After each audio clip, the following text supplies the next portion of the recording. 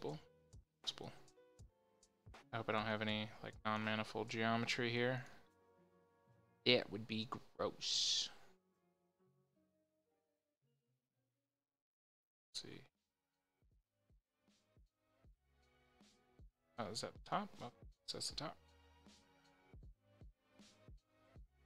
Just kind of see what we're working with. Right, yeah, good. So, realistically, we're not going to be leaving this on its own. So, what we'll do is we unfold, make sure, and layout UV. Okay. All right. Uh, and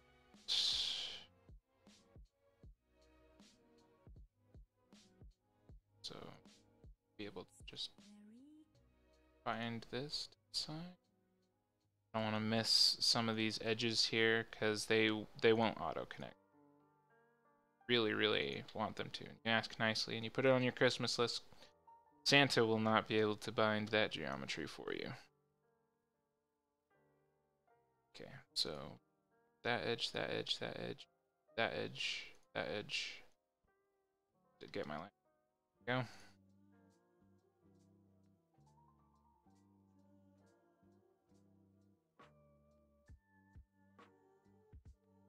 Go to. Well, you know, it might as well just select that too and unfold. Alright. cool. So let's see, where does this fit? see, so that'll together.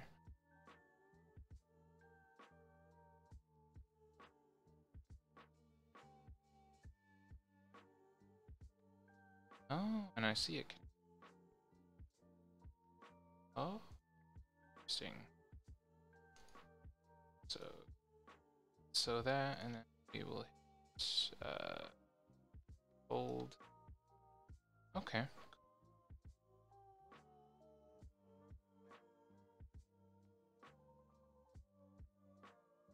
Connects as well, so we will just connect all those edges.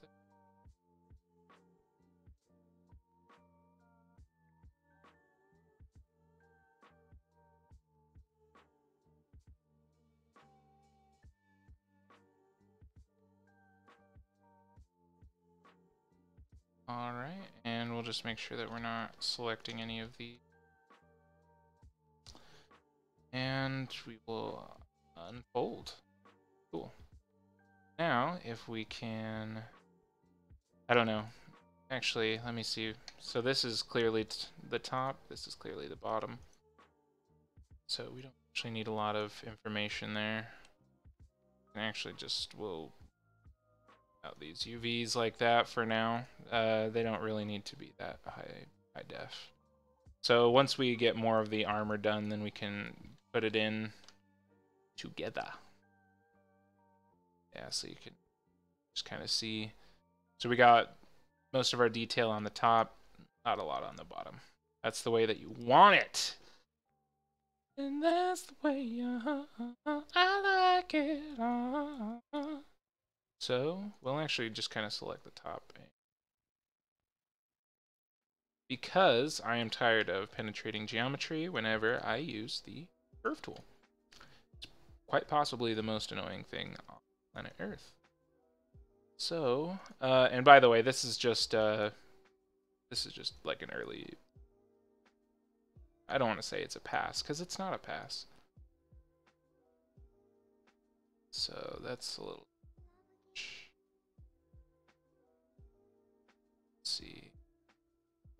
selection of step snap relative. Oh yeah, I forgot that I didn't have the UV window open so you guys can see any of that stuff I was doing. But oh boy, uh, it was real interesting. I mean, people were lining up all around the block to feast their eyes. So we'll just kind of, we'll wrap it around this way first. Yeah, okay. All right, uh, and then I have this set up right here to delete all history. uh, just to my shelf, and you can do that by Control Shift and then middle mouse button. Uh, up here, I think it's Edit, Delete all by type, and then History. So Control Shift middle mouse, and you can add that to your shelf, and it's actually really really useful. Uh, what I've added to my shelf is just stuff that I use a lot: freeze, transform, uh, center pivot. Because whenever you join two objects together, uh, the pivot will be like somewhere like over here. You gotta hit center pivot and it brings it back. Uh, I shouldn't even be talking about my shelf because I mean a lot of you guys that don't care about this stuff are gonna be like, I don't know any of this stuff, and I don't care either. I just want to see you make some dope armor. So, um, we're gonna hit bend and actually turn that curvature. There we go. So, by the way, this was screwing me up for a while. I didn't know how this function actually worked. So the straight line, you want it to be facing basically the the plane where you want it to deform. So you'll see this circle here. You can move that so it's really anywhere you want it. But yeah. So I like to, if I'm doing like shoulder pauldrons, I will bend it twice. So yeah. But if I didn't make this all thick and stuff, trust me, that bottom would be absolutely coming through the top for some reason. It makes no sense to me. Is it clear on that? Uh, let me see here. So what I'm going to do is I'm going to add uh, an edge loop here. So I can do that by using this tool here uh, which is, I'm pretty sure, the split components, right? No, that's the multi-cut tool. So you're going to use the multi-cut tool. You'll cut in an edge loop by Control-Shift and then hovering over this edge. Because uh, if I were to hover it over this one, it's going to think that I want it to, uh, well, I mean, you can see. Uh, but yeah, this vertical edge, because that will control the flow in a different way. It controls the flow. Yeah, so what we'll do is we will just kind of put that out there, make it spiky. Sharp edges, you know what I mean? Uh, yeah, we will need to remap that, don't worry. It's like garbage, actually, so we may even just not even, you know? It's not even, so that. Okay. Uh, well, that's like that's doable. I mean, I'm hating this geometry here, but I'm uh, worry about it later. Uh, so I may uh, later show you guys how to add holes to your armor, but it's I'll put it like this: it's it's really stupid to do so if you're doing it for uh, an in-game asset that has like a budget like Dota does, because uh, they have like you know over a hundred heroes, so they have over a hundred rigged characters like this that need to be loaded at any given moment. So that's that's a nightmare. I mean, realistically, it is a nightmare.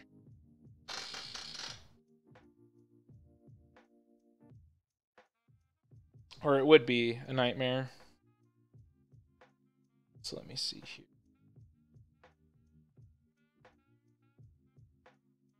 This is weird. It's not giving me like my, uh... There we go. It's like I, I know that there's... I have more options than this. So we'll turn off our snap. Step snap.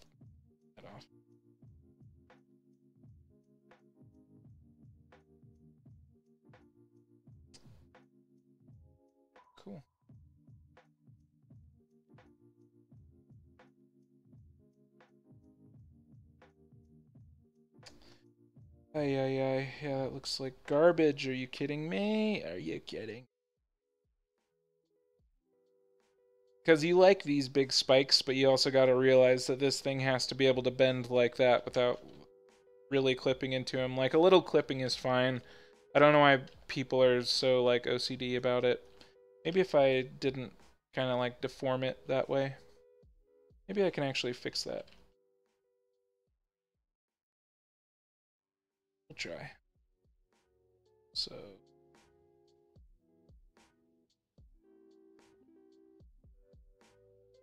Hmm.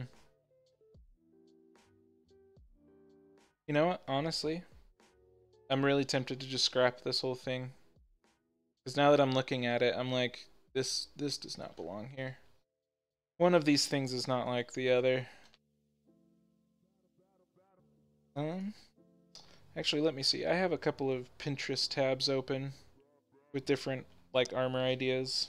So.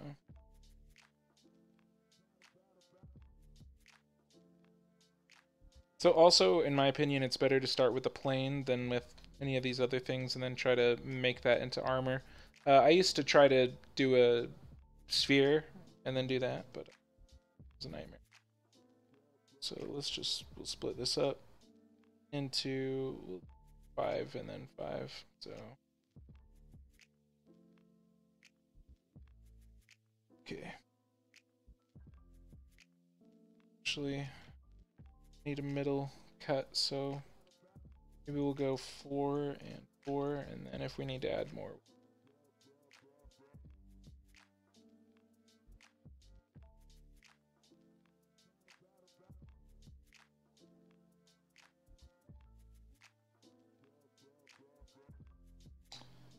I don't know how big of a fan I am of this song, but uh, it's not getting in my way, I suppose.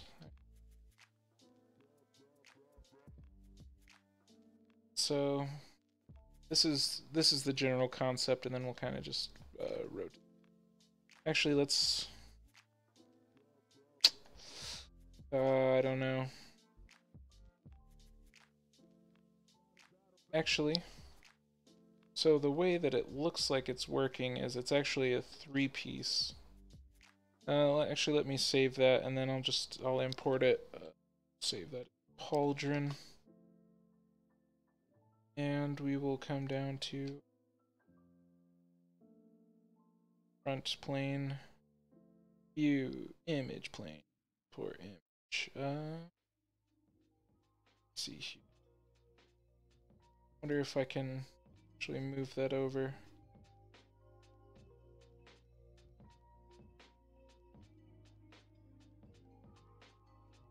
I don't know if you guys can see my little import window here but uh trying to navigate to right folder. And uh, I may take a five minute break just in a minute so that I can get some real food inside my belly. So I don't have to eat on stream.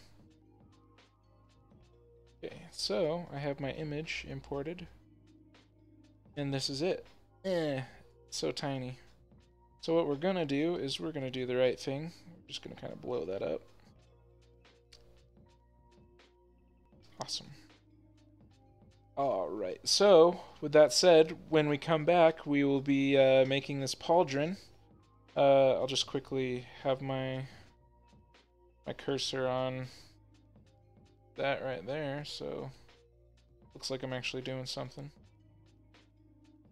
I mean, I got a little bit done. We could actually even take this helmet into Substance Painter uh, when we get back, and I could show you guys just some tips and tricks on how to get some cool metal effects there. Um, let me see. Yeah, uh, if there's anyone interested, uh, hit me up in the comments section, and we will make a decision.